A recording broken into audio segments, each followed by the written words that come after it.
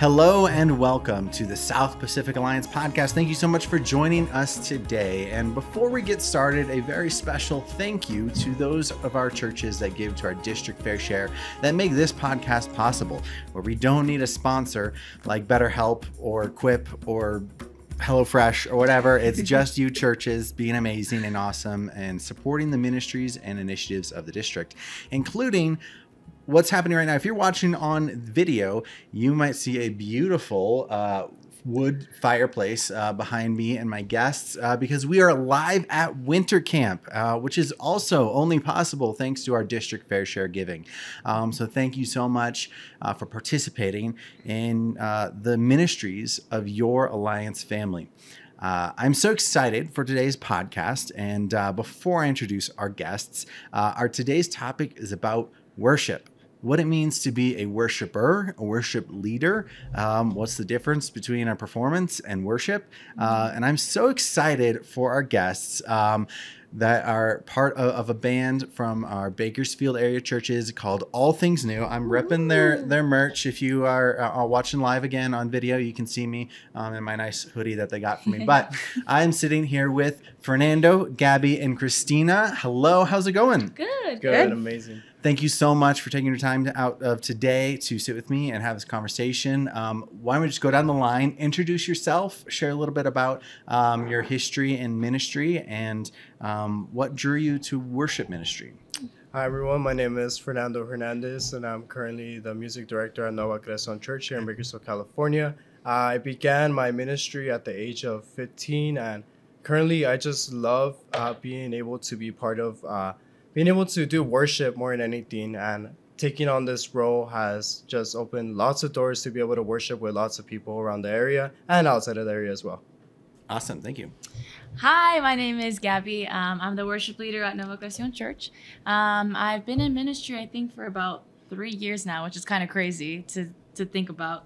Um, my testimony of how I came to a worship leader is a whole other story. I don't know uh, we can talk about that later. We can talk about it now. Um, I mean, oh, this okay. is the podcast. We take all the time we uh, need well, to talk about whatever we need to. How oh, I became a worship get, leader. Get the mic okay. straight in front of you. Yeah. Um, Settle in, everyone. Take, taking it back, I actually never thought that I would have been doing this. Um, and it's crazy how the Alliance has, one, impacted my life because it was at live camp back when I was 18, 17 years old when I first went. And um, I never thought I'd be called to ministry. I know my parents have been in ministry for a long time, so I was born and raised in the church, but I always told myself, this is not for me. I do not want to do it.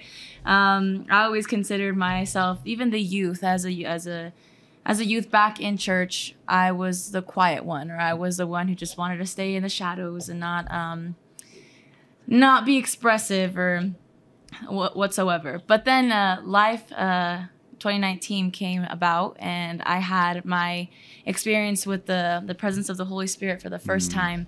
Amen. And I remember it was towards the end of the week and um, as I was seeing the worship uh, team just leading and the way they how expressive they were in worship and how they just proclaimed like the good news through song it just brought something special to me and i was like i had this voice in the back of my head now i know it was the holy spirit speaking to me but he said that that's what you're called to do. That's Amen. what you're supposed to do. Amen.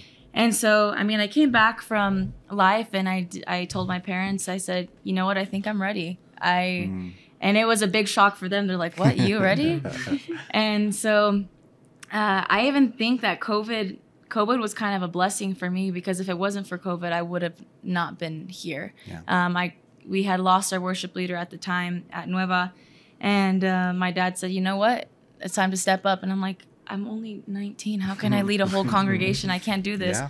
So um, I always see I see myself now, and I'm like, you're never too young to be able yeah. to worship and go crazy for God. So Amen. I love what I do, and I'm so glad to be able to be a part of the CMA Alliance and yeah. leading other kids into youth. Amen. Amen. Last but not least, Christina. I'm Christina. I'm from the Oaks Community Church. I am the director of worship and youth over mm-hmm. there. Um, I've been doing worship since high school. Wow. That's when I started. Um, I remember it was two counselors, or not counselors, I guess youth leaders. Yeah. Um, they played guitar and they wanted to start a youth band. And so this is going to sound really bad, but they told me that they didn't tell me. They suggested that somebody else be the worship leader because they played an instrument and could lead the band. Uh-huh. And I didn't like that. So I decided I was going to learn how to play guitar Oh, because I knew that I was called to worship. So I did. I learned how to play guitar. out of Yeah. spite. Mhm. Kind of, Yeah, but God's kinda. using that. Amen. um, but no, I really, since I started in a youth band, I really believe that it's important to equip the next generation. So, like, Yeah. my role at the Oaks Yeah. is worship and youth. Yeah. And I use our youth for everything. Um, they're our sound, they're our tech. We have them in our worship team. So, it's just nice to see the circle just keep going back. Mhm. That's where my heart is. Amen. Um, that's fantastic. Well, let's let's uh, start with this question. You've probably thought of this question before, but how would you define worship? Obviously, you guys are worship leaders through song and praise. Um, so, for you, where's your heart? How would you define worship? For for me, I define worship as a as an intimate moment where it's really just me and God. Mm. One, that's where I fell in love with the Holy Spirit and worship. So anytime I I could say I'd be having a really hard day or um, things are not going correctly, but the moment I step on that altar and I really kind of give it up onto God through song is just something so beautiful to Mhm. me. And so I view worship as a form of connection and a form of intimacy with Christ in Amen. a way that's not expressible here. But yeah. Amen. I agree with Gabby in that and just being expressive with it. I always joke that we have it easy as worship leaders. Mhm. Um, when you look at other people who have a heart for evangelism, honestly, that kind of scares me to go out on the street and just start talking about Jesus. Yeah. So I feel like as a worship leader, I just get to go up and worship and help usher the presence of the Lord in, and He takes care of the rest. So I'm like, Mhm. whew, Yeah. thank you, God. So worship is very intimate and it's individual. hmm Awesome. For me, worship is honestly the ultimate expression of gratitude and how much God is really worth to someone. Um, it's the way of being able to communicate to God through our spirits as well, and ultimately also experiencing the presence of God more than anything. Obviously through prayer, but through worship is just something so beautiful that there are miraculous things that happen during worship. You know, so to me, it's just an ultimate, you know, act of gratitude more Yeah. than anything towards God. Mm-hmm. And I love that it covers so many different areas. Like some people could be super joyful through worship. Some people are, are experiencing heartache and healing mm, and letting the Lord work. So it's not just it's not like one set it's not like different compartments. Like everybody can partake in that. Yeah, absolutely. I think worship is anything we do to glorify God, Mhm. and, and then that can be through service, that can be through evangelism, um, but there is something special. And the topic of conversation today is worship Yeah. through song, uh, worship through praise. Um, so, as you as you guys have had some experience leading worship in, in lots of different worship settings, um, why do you think uh, worship through praise brings about the presence of the Holy Spirit so easily? Well, I believe that as we're proclaiming the name of God more than anything, you're making a heavenly declaration towards heaven. Mhm. And as it reaches the Father's throne room, that's, you know, it, it, it brings like that, that vessel where, you know, that the presence of God could come down from heaven down to earth. Mm-hmm. Amen. I would say being able to rejoice um, in song with the congregation and a and a church is just how it is. We're we're literally recreating heaven Mm-hmm. down below. Yeah.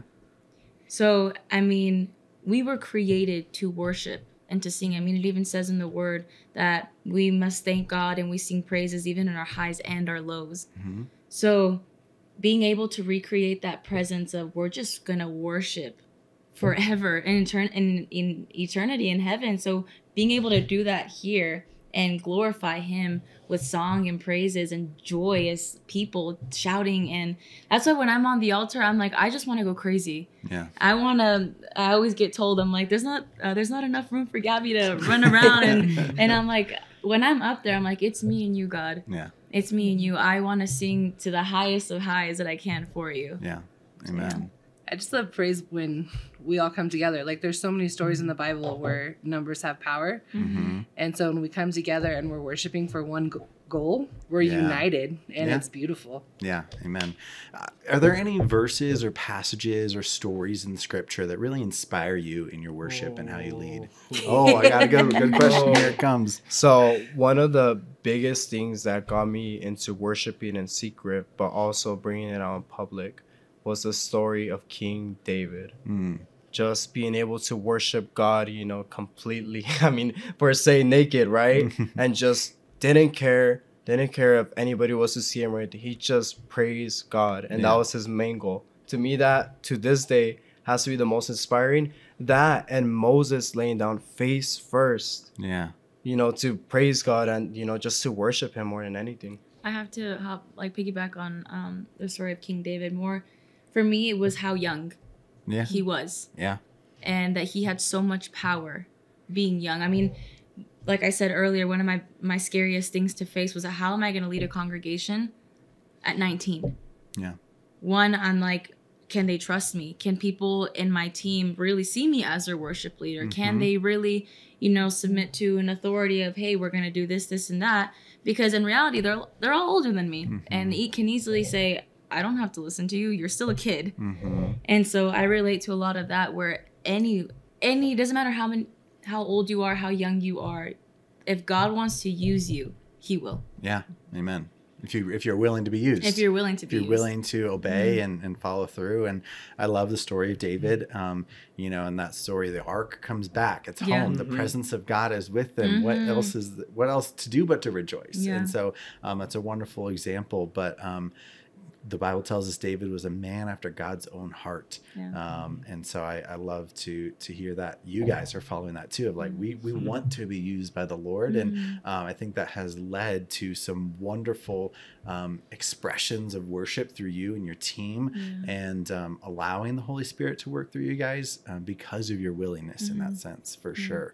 Uh, Christina, any verses or stories? Yeah, so I always think of um I'm always reminded whenever we do the song Raise a Hallelujah or hear it where it says my weapon is a melody. Mhm. I always go back to when they were um, in any battle or when they had to walk around the wall seven times, like it was led by trumpet and horn. Yeah. Mhm. And so I'm just like, we we just have to worship and praise, and God's gonna be victorious. Like He's not asking us to yeah.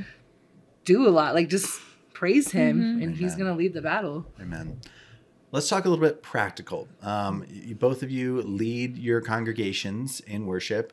Um, what's it like for you guys? What do you do throughout the week? I mean, some people in in the pews, or Yeah. it might just think, oh, well, they just stand up there and sing and, and they did it, you know. Yeah. But I know that there's a lot more that happens behind the scenes. Let's share with the world a little bit more about what you do. I always get nervous when um people ask to come to practice. Because when they come to practice, the first thing I tell them is, we do not have it together yet. Yeah. It'll be there by Sunday, Yeah. but we're still working on it. And they're like, okay, okay. Like they're very gracious. But I mean, did, were you going to say something?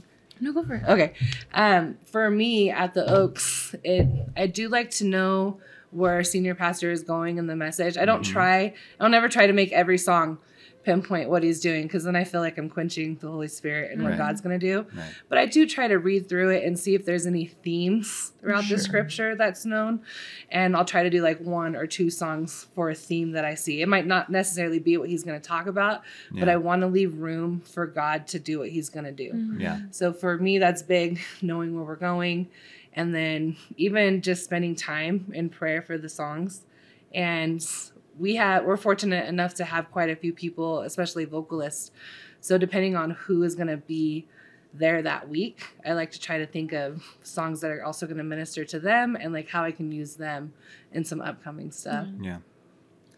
Well, at Nueva, it's just it's just me, and uh, I'm the vocalist there. Um, um, so throughout the week, I'm ministry is full time for me, but I'm also a full time student. Yeah. So um, I'm in school half of I mean I'm school all week, and but the way I prepare myself um, with worship is one I'm always looking for new songs daily. Um, when I as soon as I wake up in the morning, I'm tuning into YouTube and looking at different ways um, different worship teams are worshiping. What's the new? What are they bringing in? What can I implement into my church? Is there a new song in English that maybe I can translate in Spanish Yeah. and uh, bring that there? And so practicality, I kind of I I can say I'm blessed because if um I want to do a song, I just throw it at my worship team and I said, "We're doing the song. Get it together by uh, get it together Yeah. by Saturday morning. We're doing it." Yeah. And so I can say my musicians are, are great. They will Mhm. literally get any song down that I throw at them. And um, so I have all the set lists sent out by Monday. Um, I say, prepare your guys' heart, get it done. We're going to practice Saturday morning. And that's that's pretty much practicality of the behind the scenes. But it does put a lot of work, a lot of um, a lot of time and effort. But one thing that I did learn was that a lot of worship leaders put too much trust in their worship set list. They can come and say, "I have you know the newest of songs, and um, The top it's gonna hits. the top hits. It's gonna be Sure. great." Yeah. But when we start doing that, we begin to idolize our worship set, and we're not leaving room for the Holy Spirit Yeah. to actually speak through those songs. Yeah. So I've learned that it doesn't matter what song you sing. If the Holy Spirit is there, He is going to move the people's hearts Amen. Absolutely. in any way. Amen. So that's one of the things that I. Absolutely. Um, as far as preparing, at least for me per se, because I'm also a full time student and also working full time, for sure, for sure, for at least for me, it has to be discipline more than Yeah. anything. Um, right here to my left, you have two wonderful worship leaders, but as a perspective from a worship musician on the team, there is, you know, uh, different things that kind of go out throughout the week. So, for example, since I play drums, I tend to look at a lot of drum covers. I tend to look at more like the musical sense and you know to send it out to my team.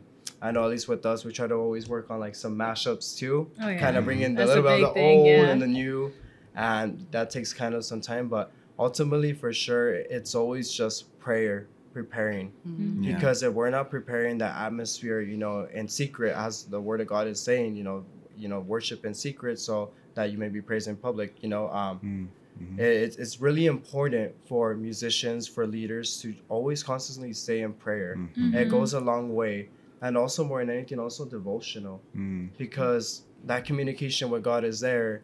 And you know, us, you know, as the vessels that God is gonna use, we have to be prepared in spirit and in truth in order for us to come uh, Sunday service where it won't feel like it's a repeated thing, but it's more like you you know that God is going to move and God is gonna do something. So you're preparing yourself spiritually for that. And in reality, worship is such an essential when it comes to the church. Yeah. You're literally preparing the the plate for the pastor to come in and I mean the congregation's already opened up their heart. They've received that worship. Now they can really be in tune. Okay, what is God going to speak word. to me today? Yeah.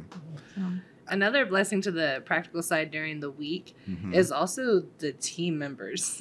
Um, I don't think I realized how much.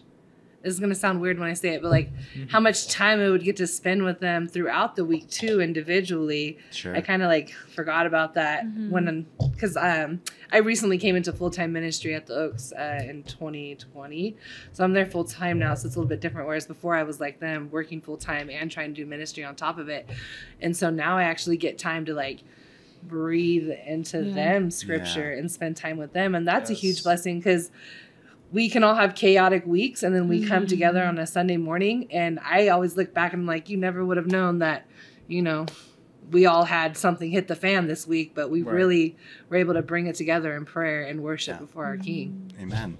I- I think that's uh, so essential. I think you hit on the head that worship is this uh, beginning to opening our hearts to receive the truth of the Lord. And uh, worship in community is something special because we are all, as I've already said, you know, focused on one thing Jesus and preparing uh, to hear from his word.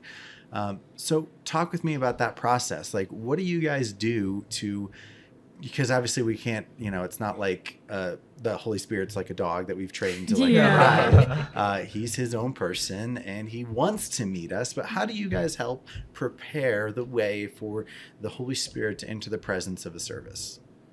Um, at least for me, before every every Sunday morning, um, like I said, I I have my own time of worship. Mm-hmm. So I'll wake up earlier. Um, I'll go into prayer. I'll read my word. I'll put on worship music, and I prepare my own heart Mm-hmm. because I know there's a time when you get up there as a worship leader, and Christina, I know you felt this before, where you've prepared your heart, you've prepared the set list, and you know that something can happen. Chains will be broken in that moment. But then you step up on that altar and your congregation is looking at you like What are you doing? with silence. Yeah. Maybe even with the with crossed arms. Yeah. And if I always tell myself if I hadn't prepared my heart before seeing this, Yeah. I would have been devastated and I would have cried out, "Lord, what are you doing? Why am I here? What am I? you call me you called me to be a worship leader, but I can't lead your congregation into worship." hmm But then I remember what and I even saw see it here with the youth. If I if I have my own moment with the Lord and I say, "Lord, I'm not worshiping for a congregation, I'm worshiping for you." And I have this one-on-one with him, hmm then I know the spirit is going to move through them. Yeah. So it's like it has to start here Yeah. in order for it to go there. Yeah. Yes, exactly. So I mean, everyone in your congregation is coming with their whole week exactly. with them. To that exactly. Sunday And morning. that's what you have to remember. there can be Mm-hmm. huge barriers to those worship to helping them let go of what's Mhm. on their mind, on their heart. Mm-hmm. Um, sometimes there's really heavy stuff that people are walking into church with. Yeah. Um, that's huge. Another thing I do say is um, before I go up on that altar, I pray to myself and I say, Lord, humble my heart. Yeah. Um, that I may not be just singing songs, but that I am actually listening to the words of the song and Yeah. proclaiming it to you. Amen. so that I may be used as your vessel. That's why even in worship, sometimes we can go through a whole worship set list and we're just singing the songs. We're just Yeah. getting through the songs. Yeah.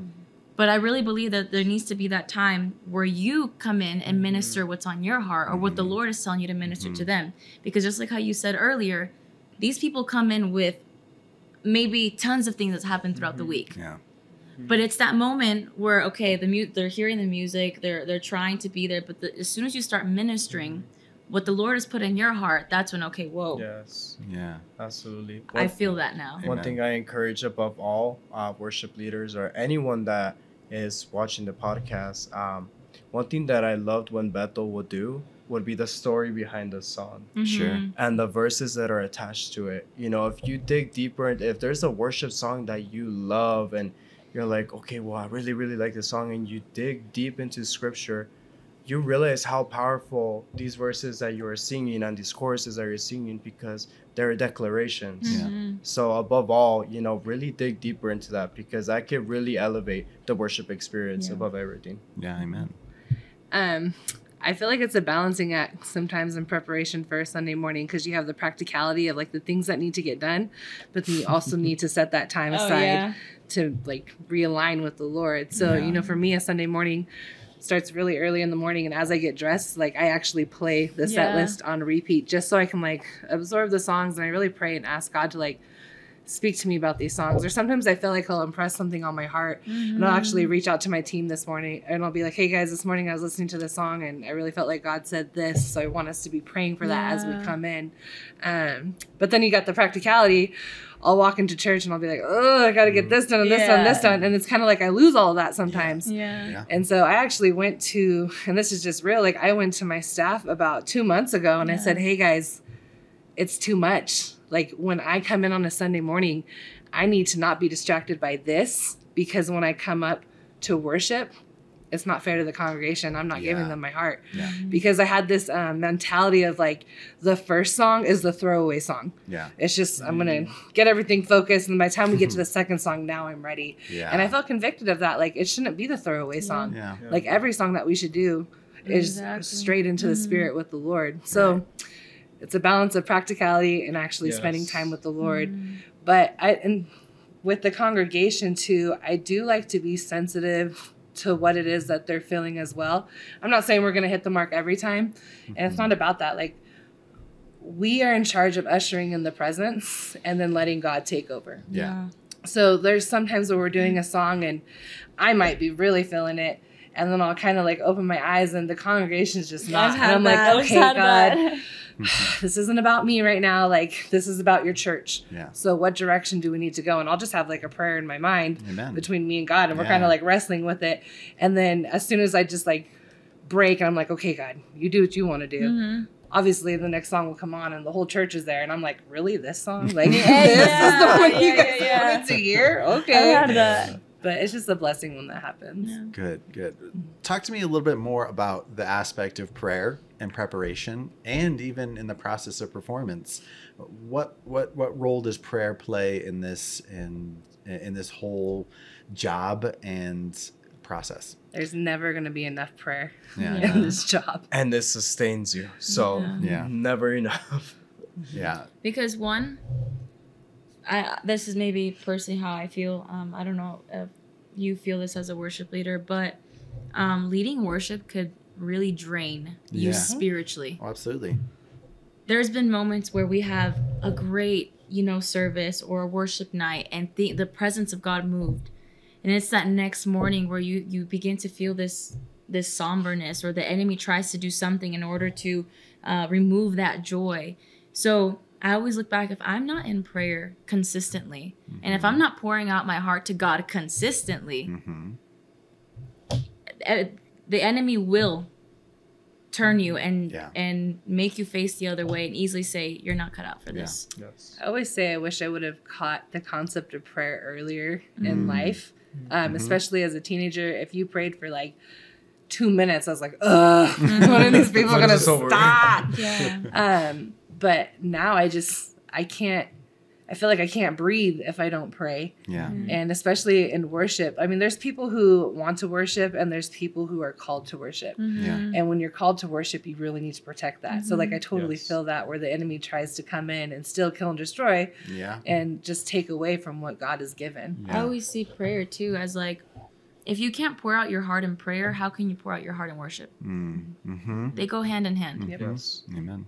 How can you whatever you do in secret is going to show up on that altar. Yeah. So it's like how can you pour out your heart and sing these songs to be able to grasp that congregation and really allow them to feel what you feel because Yeah. that's how it all starts. Yeah. I mean, you need them to see what the Lord has done in you. I mean, that's what the testimony is. You don't need to know everything. You don't need to know, yes, is it great to know um, the Bible uh, scriptures in and out? Yes, that's awesome. That's for our own knowledge and our own personal walk with Christ. But to share the good news, you just need to see your testimony. Yeah. Amen. And if you see that testimony through worship, and I always try to allow the congregation to feel that worship was my game changer. It was my life changer. That's what I that's that's my cup of tea. And if I can give that to you, great, because then you can see the love of Christ in me through you. hmm Amen. And that comes with prayer. Because if I wasn't able to go on my knees and surrender myself and say, Lord, I give it all to you, Yeah. I can't do the same thing in worship.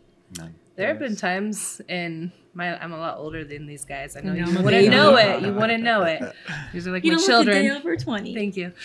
Um, but there have been times in my life with worship where I, just being honest, I find myself identifying as a worship leader and not as a child of God. Mm. And so those have been huge pivotal moments for me because I have found myself saying, okay, God, I think I need to put down my guitar because there's something's not right in my Yeah. spirit.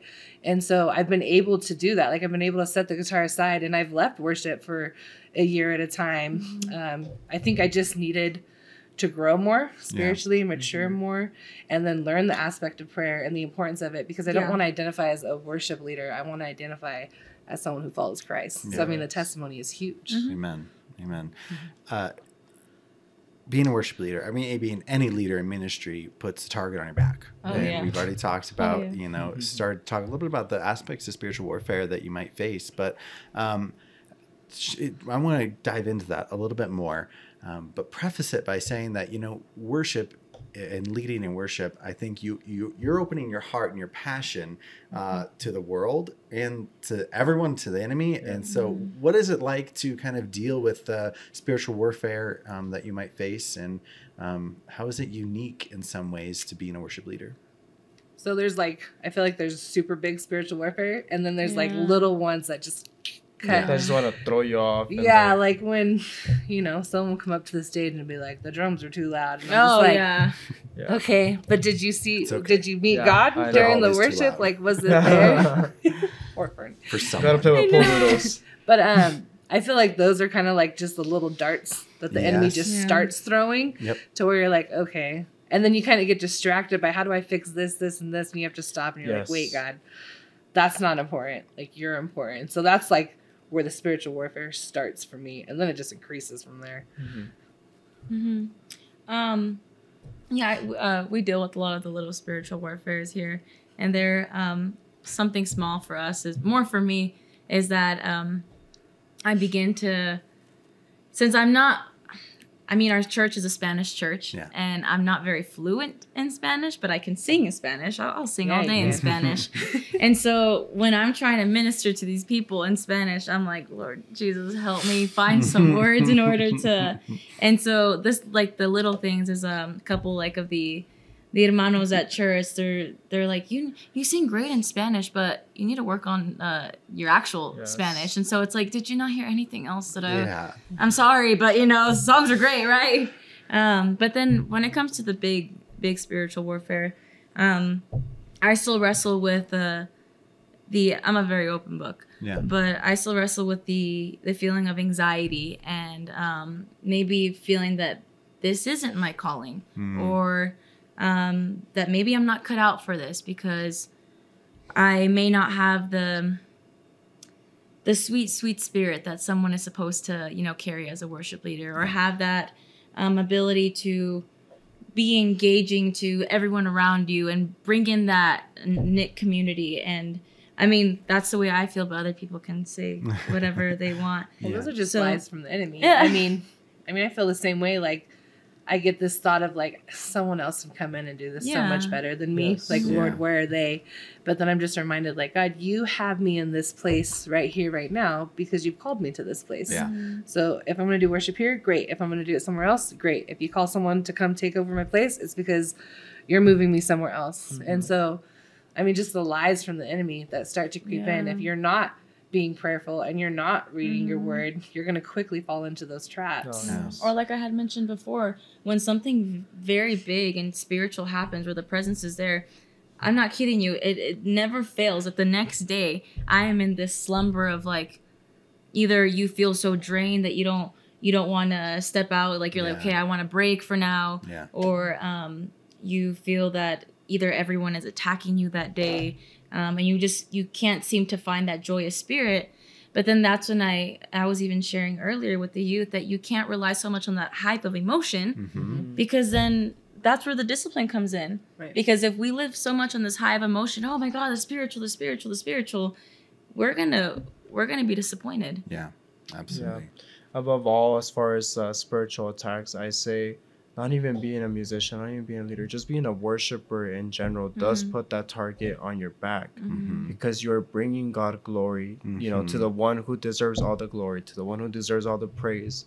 Um, you will have all these, you know, small little attacks where people get upset or oh or or Hmm. you also get those times too where you feel sometimes a little disappointment too when you're worshiping you're worshiping and you're feeling something and you look back at the congregation and everyone's all stiff like what just happened Mhm. where you just question of like god is doing something so beautiful and it's like if people just rejected it Mhm. Yeah. but this is where you find the beauty in all of this though because although that maybe they're stiff you're still planting that seed in them Yeah. and as you keep on worshiping and th- th- this, this is something that I always wanted to kind of dig deeper into what uh, some uh, worship leaders call throne room like worship where there's like worship where you're just thanking God but and there's also like throne room worship where there's like an outpouring like of the Holy Mhm. Spirit in your congregation and you know like as as I attested earlier it, it's always key to stay in prayer but more than anything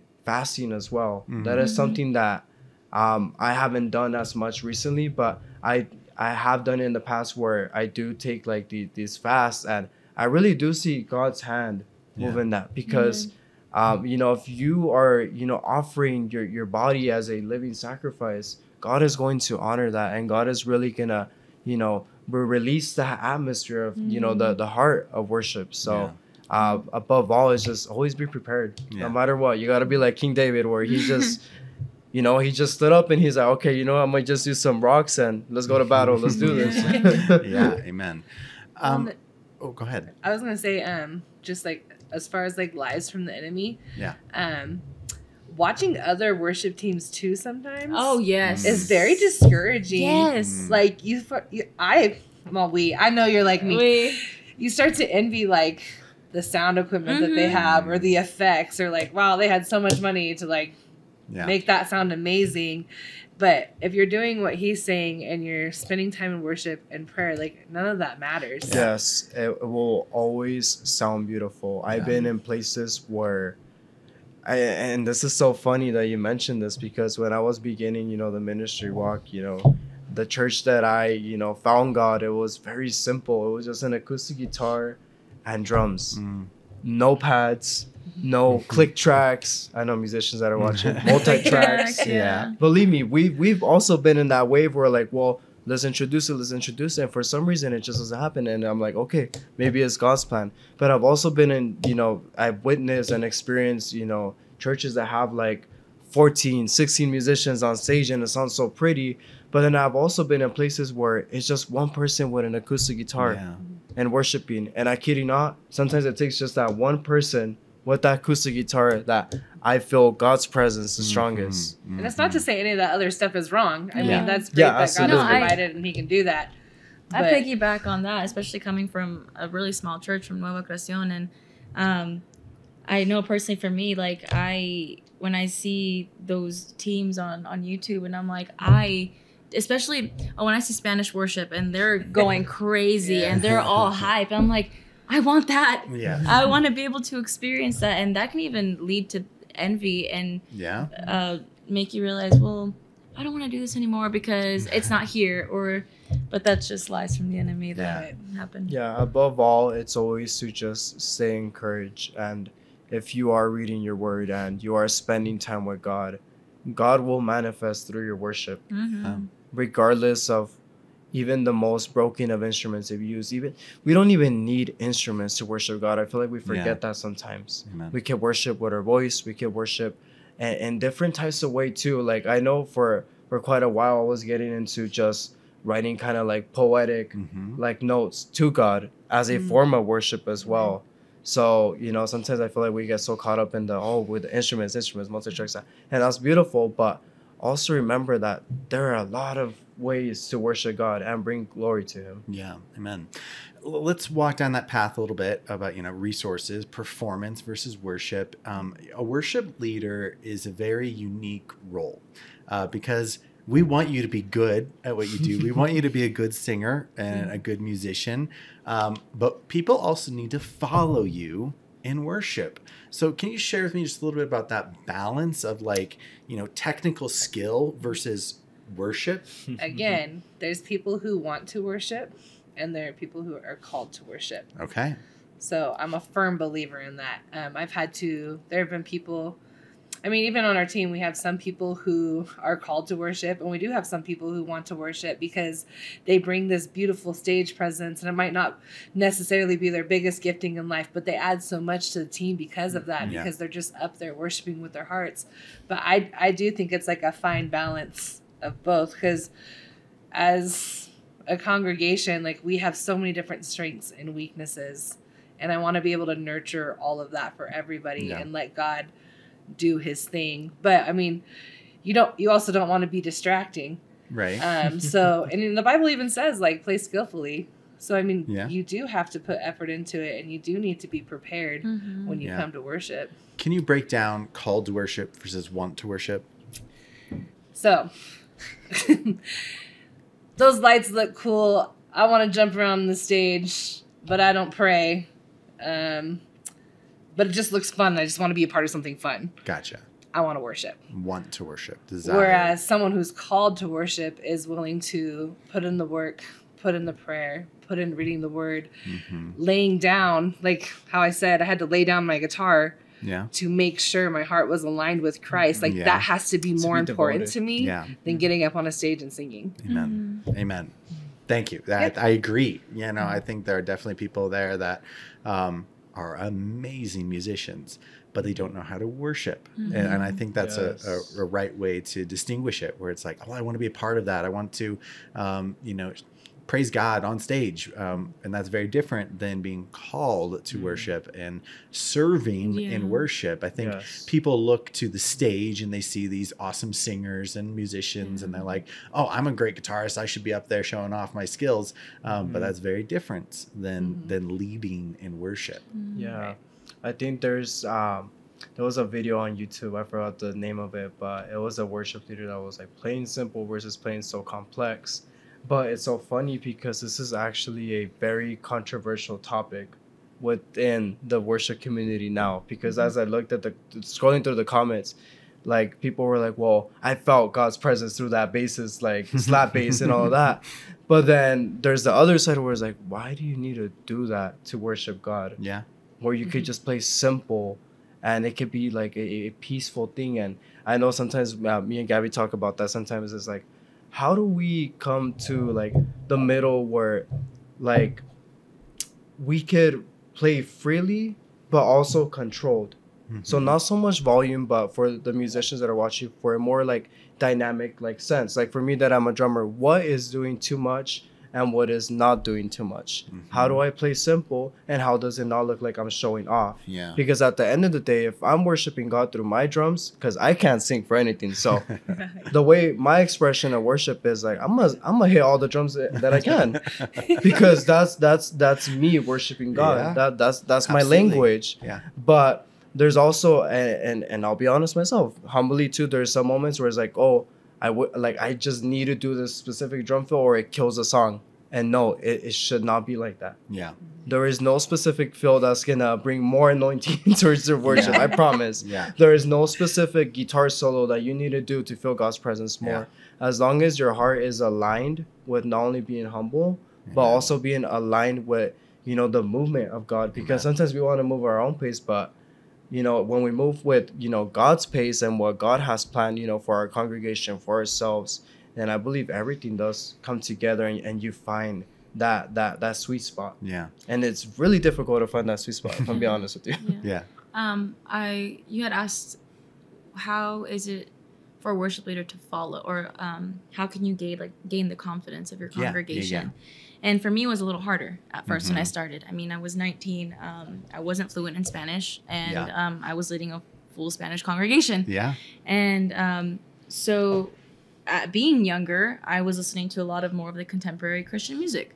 And going back to my church, I'm like, I know that that music or that Mhm. form of worship was not going to be edifying for them. Mm, So that's when he came up, or when we were when he said mashups, it's like we kind of became a like king of mashups because it's like I'm like, okay, how am I gonna allow these people to one start to grow and learn into this new contemporary worship, but also know where uh, where it can hit them at home. What Yeah. worship can hit them where they feel that they can worship and um, be in the in the Holy Spirit. So what I would do for a while was I would get a really old song that I knew that they would love, and I would tag it with like a new contemporary Yeah. worship song. And little bit three years later, now I can pull out a song and they're ready to worship to Amen. whatever. Amen. Um, but as far as the um, you had asked before the the what you had you asked about the following. How do you, uh, uh, as a leader, I mean, you. It's great to be uh, an amazing singer, but if you had an opera performer up there, Oh. no one could sing like they do. Yeah. So when it comes with that, you can have the voice. Yes. This is where kind of when you're when you're saying you can be called to worship, um, you can have a beautiful voice. Mhm. Anyone can have a beautiful voice. I really do believe that. But if you don't carry the authority that God has given you, because one thing that I've always been told, it's like, yes, you have you have a beautiful voice, but it's that part when you minister where the spirit flows. Yes. So I feel if you don't carry that boldness and know that you are crowned in confidence, worship is gonna be just be a pretty song. Yeah. yeah. It's that time of ministering Yes. where people are really gonna be connected. Okay, I I understand what you're saying. I Mhm. feel what you're saying. So that difference, okay, I'm in call to worship. Can you carry that boldness that God Yeah. has given you? Yeah. Can you yourself say, I am crowned with authority, that Yeah. I'm going to proclaim what God is speaking to me Yeah. in order to touch your guys' hearts? Amen. So that's what I'm thinking call to worship is and yeah. Yeah, so even, and even speaking at least for myself as far as song selection, I Sure. feel that there are some songs that are based for a more like a concert slash Yeah. performance Mhm. setting slash like Yeah. a worship night, and there are some songs that are just congregational. You have to base Um, it like you really do have to pray about it and really see, you know, the direction that your congregation is heading to. Yeah. you know, you don't want to introduce this like super like heavy metal song in a you know older Hispanic church. Like, what are you doing? we've had that. Are- Yeah. Like, did, did the enemy just like you know like take control of you or what? Yeah. Um, you know, to that regard, and and I know some worship leaders uh, try to listen more to the radio to see what's you know what's what's, what's popping, you know, what's popular. But Mhm. in reality, some of those songs are you know should be specifically for concert based because Sure. we need to, uh, as you know, as worship leaders and directors and just worshipers in general. Um, it's important to really look at the lyrics because Yes, for us yeah. musicians, we're just like bumping our heads, like, "Oh yeah, that's cool, Yeah. that's a sick, you know, uh, drum solo or that drum fill or you know that that's a sick solo. Like we need to we need to add that, but you know if we're we're we're bringing this that should be more like in a concert setting, you know, how is it edifying our church? Yeah. We need to you know put ourselves kind of like in that spot where how is this song going to glorify God right now in a Yeah. congregation? And I know there's been different methods of how people introduce, you know, songs to uh, their congregation. I know for us for a while it was if we're introducing one new song, have it every Sunday. So because more than likely what's going to happen if the people hear it for the first time, they're going to pay attention to the words. And as you're, you know, you keep on playing it, then they'll begin to connect more and, in worship. So Well, they say by the time the worship team is sick of the song, the That's- church has finally learned the song. yes, yes. Yeah, that sounds accurate. Yeah, I think that's really important to be testing those lyrics, even the theology of your songs. Is like, is this accurate to what we want our people to know and understand?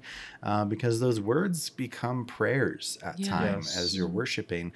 Uh, from a personal perspective, when I was like six years old in VBS, I like accepted Christ through a song. Like I was Mhm. singing Amen. Jesus, you are my all in all, Mm-mm. and I like made that my prayer. Oh. And I think that's very true even today. Mhm. Like we don't know how our those in, in our congregation are going to be reacting to these Mhm. songs or Mm-hmm. embracing what those songs are Yes. saying. Um, I've had the horror stories of people wanting to sing special music at, at church, and Mhm. um, it's like, whoa, this is this is not even biblical. It Yeah, yeah, sounds yeah, nice, yeah. but um, this is all backwards. It's all about you trying to get things right. But yes. um, and so you're, I think that's absolutely yeah, accurate. and Michael, I think you hit, you know, you know the head on the on the nail right there with that.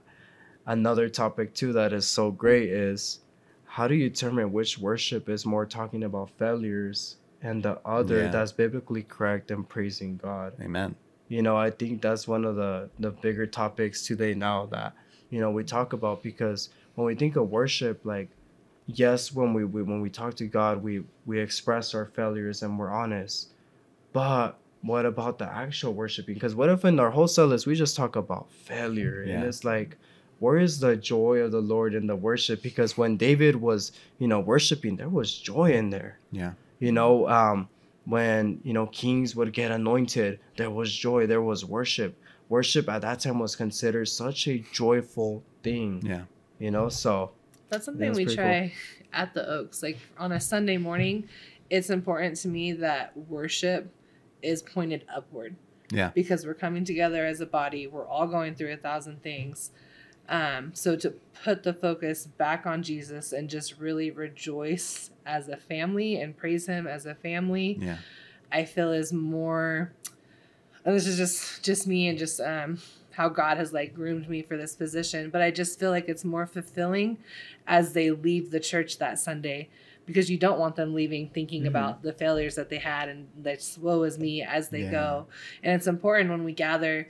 We're going to be worshiping in heaven for eternity. Yeah. So if we can't worship as a church family once a week, mhm, you're not going to enjoy heaven so much. I don't think so. I don't know. we're worshiping constantly. Yeah, so like if we're gonna do like a song that's kind of focused, like on a Sunday morning, I try to stay away from songs that say like, um, you know, like Ah, I, I, I, I, I. Yeah. Or if we do do something like that, I'll change the words to like we or are, or like to make it more as a family unit, Yeah. like we're together and this type of thing. Better together. Okay, let's talk a little bit about some practical things. Um, so let's imagine that um, a worship leader or senior pastor is listening to this podcast. What do you look for in a participant on your team? Hmm. Well, one that is willing to be uh, devoted and disciplined, someone that is willing to, you know, accept correction. I think more than anything, but also as a leader, also have that open door policy where it, you know it goes both ways. Yeah. You know where you can be honest about me and I can be honest about you. Um, also see that they're willing to come to prayer. I think more than anything for for us at least at Nueva, we always always always tell our team, come to prayer, come to prayer, come to prayer. It is so essential Yeah. you know have- to to come under one spirit you know unanimous you need that prayer connection Yeah. like individually Huge. but also with your team i know um sometimes it's so easy for us you know to pray by ourselves but can you pray together as a team you know and and and come you know under god and just tell god hey we we come under the same spirit together Yeah. and we want to just connect God and just allow your spirit to just move through us. And to me, that is really essential. Um, we don't really try to look like for like specific like skills because I have the personal belief that anyone can become a master of their craft Amen. if they put in the work. Yeah. And even if you know they they don't become a master of their craft, you know, there's gonna be some way that God is still gonna glorify Yeah. through them. So You're the you're on the sweeter side of, of Yeah. things. yeah. Um, I'm, I'm a I'm a harsher when it comes to when it comes to worship. Not not so much, but I just worship is not a game for me. Yeah. If you want to come, you're coming with your full heart. If you wanna if you wanna be on the team, I need you dedicated. Yeah. It's like I am the type of worship leader where I'm not gonna hold back a song just because you weren't prepared and Yeah. you you didn't come. Well, I just I listened to it, but I don't know. That doesn't cut out for me. Yeah. If I'm gonna throw a song and I really think um, it's gonna be edifying to the congregation, I want my whole team to be on one page. Mhm. I mean, you can ask my team if if someone we have this one rule where it's like if someone shows up five minutes late, it's like two push-ups for like each each minute. and so um, I can't do really push-ups, but I do. team. Yeah, Are you Yeah. used to? They're all on time yeah, now. yeah. huh? So now now they're all they're all on time, and so but because yes, was it hard at first? Did people not want to be on the worship team because Yes. it was oh it's too much? Uh, you you take it to the other level. Worship, I can just come and play and it, it'll be fine. No, yeah. I'm like, it is something special that I'm going Yeah. to bring every single Sunday. Yeah. So it's like you're either in or you're not. If you're gonna be half one foot in, one foot out, please get out. Yeah. It's like I so but I do believe that's what got us here Yeah. in just those two years of Yeah. me pushing and mm-hmm. pushing and pushing and pushing. And I'm I I look at my team and I'm just like, see, hard work does pay off. Yeah. And I know the Lord, the Lord's spirit moving through you guys is getting us to where we are now. And that's just it's a testimony for me. It's it's just an awesome feeling. So yeah, I'm on the little harsher side, but we work together, we balance it out. So balance it out. Yes, absolutely. I'm in between them. Oh, good. so okay. Um, it's just a, it's a mixture of both. So a couple of years ago, you know, during COVID, we don't mention that, but when churches were shutting down and people were leaving, um, we lost a lot of people. And at first, it really was hard for me because I felt like we lost a lot of skilled people. Yeah. Um, But God answers prayers because before that happened, I prayed, God, I really want some people who just have the heart of a worshiper. I don't need skill right now. I need like Yeah. some worship. And Yeah. God honored that. Yeah, God we got a said, lot of worshipers. Uh-huh. and I was like, good. okay, Lord, now we need a little bit more skilled. So I'm I'm in the middle of that because worship for me, yes, it's Sunday morning, it's huge, but it's also like throughout the week too. And so for me, Yes. yeah. community is huge. Mhm. Yeah. And so, like I said earlier, the time that we get to spend with the worship team members, I'm not looking for someone who's perfect. Yeah. Mhm. Um, just as he said, you know, you can develop your skill, you can get there if you put the time and the effort into it. But I'm just looking for people who are practical, who want to worship, who are willing to put in the time, Mhm. um, and that just want want to work together. I feel like. Uh, okay, so now from the perspective of I'm a I'm a senior pastor and I don't have a worship leader yet. Oh, there goes another light. Uh, if you're watching on video, both of our lights just died because they were on battery. But um, we're gonna- Energizer, please sponsor us.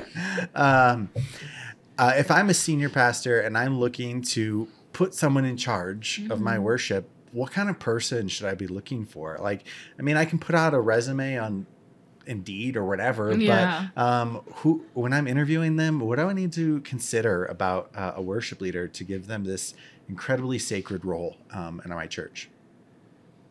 if I was in like say if I was interviewing this person for I would really ask them what is their what is their life outside of the church? What what are their what is their discipline Mhm. um, within their Christian walk? Because, like I said, you can have a, a hip, cool looking person um, who can has a great voice and can sing, and be like, okay, cool, you have you you fit the part, you can sing the part, awesome, but you're not gonna be able to really be led by the Spirit. Um, and I think that's the biggest like main point is that you really need to, as a worship leader or as a worship pastor you really Yeah. need to be led by the spirit Yeah. in your own daily life and that portrays on a sunday morning I think it's important that you pray for someone who is willing to adapt, not necessarily adapt to like the senior pastor style, but someone who's willing to adapt to what God wants to do in that Mhm. congregation. Um, I we had a speaker come to our church one time with just our staff, and he was talking about how, in order to raise up new leaders, it's okay for quality to suffer. Yeah. Um, not everyone's Amen. just going to walk in and know what they're doing. And so you have to be okay with letting go of the quality to really mentor someone, to teach them, to show them the ropes, to be graceful to them. Um, so I would say, you know, look for someone who has the heart of wanting to learn, Mhm. someone who has the heart and the passion for wanting to do what God's called them to do. Mhm. Even if they think they're coming on as a worship leader and you say, hey, you know what?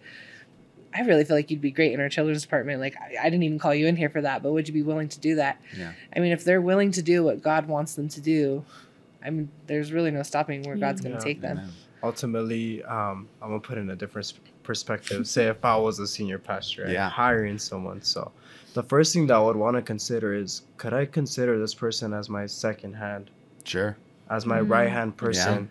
Because as a worship leader, you have to be connected so much to your pastor. I mean, for Gabby, it's you know a little easier who does a pastor, but per se for me you know if i was a pastor i would want someone that i could put trust into Yeah. and i always have this firm belief that if you are a worship leader you should also be able to teach yeah. yeah because if you're not able to teach that means you're not reading that means you're not putting your time in prayer and in worship you know otherwise how is you know the presence of god going to flow if you're not doing that the other thing that i would want to you know obviously see is someone being able to be mentored or Yeah. anything because you know if you're a senior pastor um, you also kind of have to think like longevity as well um, if you're a senior pastor and you see kind of like you're getting kind of closer to your retirement you also got to consider maybe this worship Yeah. leader might be the one who has to step up and there's been plenty of churches that i've seen where the worship leader does you know step up to that, that senior case, level like- pastor or in that case um, of that um, person that you're interviewing or the worship pastor is going to come on can they can they be a mentor for someone else Sure. you Yeah. know do they have that mentor spirit Yeah. My father would always look for people who were faithful, accountable, and teachable. Mhm. We call them fat people, which is very nice, but uh, it's a nice acronym to remember faithful, Yeah. accountable, and teachable. Yes. yeah And one thing to always remember is to not get caught up with the trend of image. Yeah. I think the church now and the worship community is suffering from that Amen. because everyone wants to copy each other and it has to be this very presentable, perfect light up where people want these specific amount of lights. They Yeah. want the worship leader to be like super fit or you know have like the best of voices. It, Yeah. it, it shouldn't be that way. yeah. It shouldn't be that way. If we're thinking longevity and and realizing that trends go like that, you know, they leave. So it's important to know that you're gonna have someone that will be faithful Yeah. to this role. And if they're from your church and they're applying to your worship leader, you know, if you've seen them throughout the years, if you are the pastor, you will see the kind of worship that they bring. Yeah. You will see if they're the person that are just like this, or if they're like bumping their heads, you know, they're clapping, they're worshiping. You'll see all of that. Yeah. Um, to that regard, for others that maybe are applying that are maybe outside their church, you know, more than anything, talk to them maybe about their testimony. I think testimony is what, you know, it, it will let you into someone's life Yeah. so much because you will see what brought them to God. And I think that's so important. Yeah. Testimony plays a big role Yeah. in these resumes for sure. yeah And I think it's a again the, the worship leader role is a very unique role because you do also have to develop that relationship with the congregation. Even as you were sharing, Gabby, Mhm. it took like almost two years to really have that Yeah. trust Mhm. um, to be able to lead, and that's true of any place in ministry. It takes time uh, to gain trust to lead, but uh, you want someone who's willing to do the work, um, to be Mhm. trusted to lead, and uh, that you will trust them to Yeah. lead. Um, Yeah. You can't micromanage them. Um, so, uh, I- the, I just want to say here, it hadn't come up, but like, there's no. I hope that our churches um, have worship in all ages and levels and spaces of ministry. Um, I'm. I was so proud of Northgate that we had worship in our kids' town. We had worship in our youth group. We had worship for our adults. Mhm. Um, worship everywhere, and you're never too young. And so, um, I'd encourage you if you don't have worship in those places to find ways to bring it in. We did YouTube videos uh, Yeah. in, in youth group for a long time just to sing to them, Mhm. and um, it, it sometimes it worked, sometimes it didn't work, Mhm. um, but we tried and we we started to teach and grow. And you're only going to become a better worshiper when you Mhm. invite the opportunity to worship. yeah. Um, I want to wrap up here. We're just over an hour on my on my count. But is there anything else that we didn't miss that you're like, I really want people to know about this or that or whatever in, in regards to worship? Um, one thing I just want to end off with is that sometimes people believe that you're only a worshiper if you're on that altar, Mm, but that's not necessarily true. The Amen. person next to the person next to you, or you even you, if your heart is completely humbled and surrendered, yes. you are the best of worshiper that there could be. Amen. Yes. Pray for your worship teams. Yes. Oh, actually, that was my one question. How can people help you? If, if we have people listening, what's the best way they can help you? I mean, sometimes they're like, "Hey, I told Jimmy that he could be on the band," but you're like, Yeah. "No, we already said no to. Jimmy." So I say, I say the best way that you can um, pray for a worship team or be of of a help to a worship team is one pray for pray for their strength. Yeah. Pray that that we can be strong in spiritual warfare because that's one of the biggest things I know that a lot of worship teams or worship leaders go through. But um, as far as of help, you the congregation being able to sing back like a song to you or Yeah. show that they're engaged is the most encouraging thing ever yeah, even for me when i see these kids jumping or i see the congregation worshiping it is the joy in my heart to be able to see that i was able to lead through the holy spirit um, for them to feel that that presence Amen. so yeah Amen. Uh, just piggyback spiritual warfare. Pray for your worship team. Yeah. Yeah. Um, in most cases, everyone's volunteer. Yeah. Um, you might, I mean, the worship leader, like in my position, this is my career. I work for the church. I'm blessed to be able to minister and I get paid for that. Um, but I wasn't always that way. So just pray for your team because we're all dealing with so much during the week. And this is volunteer. Like we come together because we feel this calling. Mhm. And so just pray for protection over the team. Pray for um, spiritual warfare. Pray for the enemy to be kicked out and for God to break down walls. So, because the stronger we are in Christ, the more our worship is going to be amplified or Amen. amplified for Him. Amen. yeah i piggyback piggyback that really quick Piggyback on the piggyback. yeah Yeah. piggyback on the piggyback Double piggyback. um the pray for um for god to always manifest and show his ways because Yeah. I know for the both of us, I mean, being full time and full time um, s- work and student and ministry, um, we're I feel like it's a, a juggle all the time. Um, and I know as we further enter our career, I pray that you know I always keep worshiping God first, and um, yeah, so that's a big Can prayer. I share like a beautiful testimony about our churches? Yeah. So Nueva is actually a daughter church of the Oaks. yeah, Yeah. Uh, when did you guys break off? Like 15 years ago? fifteen years ago, I think. It was a long Yeah. time. It's been a Um, decade and a half.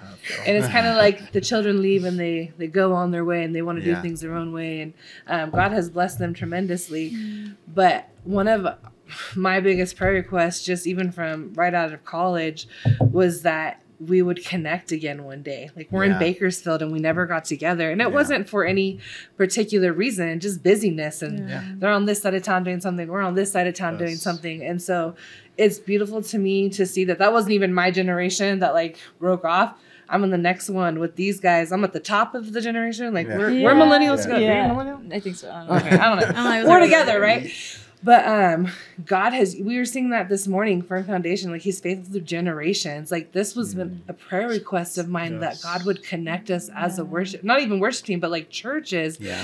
And this last year, like we got together for worship nights at our facility and their facility. Yeah. Um, we're coming to camp together now. Yeah. Like we're supporting each other in a whole new way, and it's a it's the next generation that's Yeah. Amen. like picking it up from where it left off, Amen. and so it's beautiful. Yeah. I love that. Yes, I, I hope more of our churches uh, continue to find ways to collaborate. Mm-hmm. Um, we want to see the South Pacific Alliance be a family again and Mm-hmm. work together. And you guys are a shining example of Mm-hmm. cooperation. Um, and so I've, I've gotten to come visit you guys a couple Mm-hmm. of times. It's been fantastic um, to see you come together to worship and to celebrate and um, have fun together. Yeah. And so um, definitely big encouragement to uh, all of our churches to, to do that too.